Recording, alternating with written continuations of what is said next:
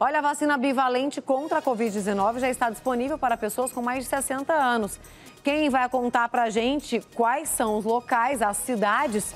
Patrícia Piaça, meu amor, é com você.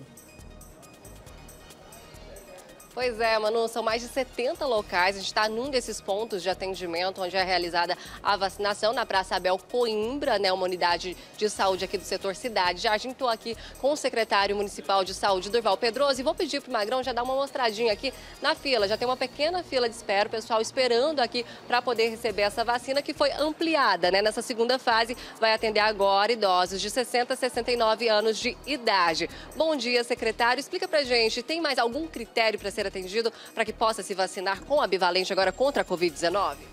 Bom dia, Manuela. Bom dia a todos os telespectadores da Rede Record. Então, na verdade, a vacinação segue a pleno vapor. Goiânia tem 72 salas disponíveis para que essas pessoas possam se vacinar. Três pontos que vacinam aos finais de semana, no Urias Magalhães, no Pedro Ludovico e também é, outras inovações que nós temos são o seguinte, cada vez mais levar a informação à população.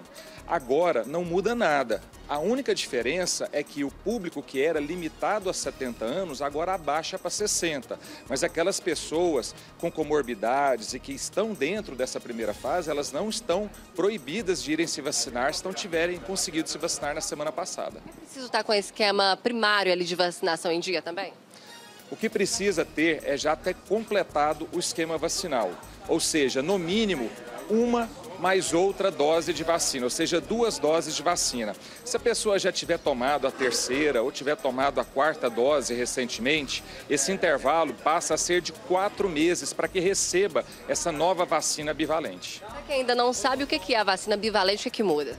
Vacina bivalente é uma vacina que tem uma cobertura maior, ou seja, ela protege da Omicron e outras cepas, ou seja, então é uma vacina que tem uma amplitude de proteção maior do que a vacina é, é original inicialmente. E o importante é deixar um recado para a população goianiense que nós estamos vacinando a pleno vapor. Manuela, mais de 20 mil pessoas já foram vacinadas nessa primeira semana. Goiânia mostra o seu compromisso, determinado pelo prefeito Rogério Cruz, de mais de 3 mil pessoas estarem sendo vacinadas diariamente na capital. Agora é importante manter esse esquema vacinal, que a gente dá a impressão que a Covid sumiu, acabou. Ainda tem a Covid, apesar de situação mais controlada, né? Mas só está controlada por conta da vacinação também, né?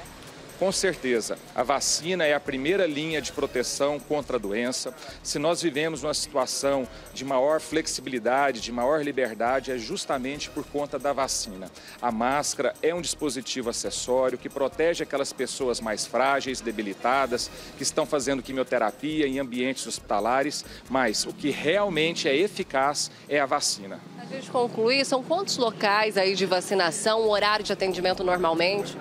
Vacina sempre é feito das 8 da manhã às 5 da tarde. São 72 salas espalhadas pela cidade. No site Imunizagim, essas, essas salas estão disponíveis, a localização. Então, o importante é que as pessoas saibam, a vacina está disponível e Goiânia, com, mantendo o seu compromisso com a vacinação, mantém 72 salas em pleno funcionamento. Muito obrigada pelas informações, Manu. E olha só, lembrando o pessoal também que aqui na Praça Abel Coimbra, no setor Cidade Jardim, bem ao lado aqui dessa unidade de saúde, está tendo a testagem em massa. Então, quem quer fazer o teste da Covid também tem essa opção drive-thru aqui bem ao lado da unidade de saúde, onde está sendo realizada essa vacinação com a dose bivalente contra a Covid-19. Eu volto com você. Obrigada, Paty. Agradeço ao secretário também pelos esclarecimentos e a gente mostrando, né, que bom que essa vacina já está, está sendo estendida para mais pessoas, para mais grupos, logo, logo atendendo a todos para a gente ficar com, livre de vez, não sei, né? Mas pelo menos para a gente conseguir se proteger e formar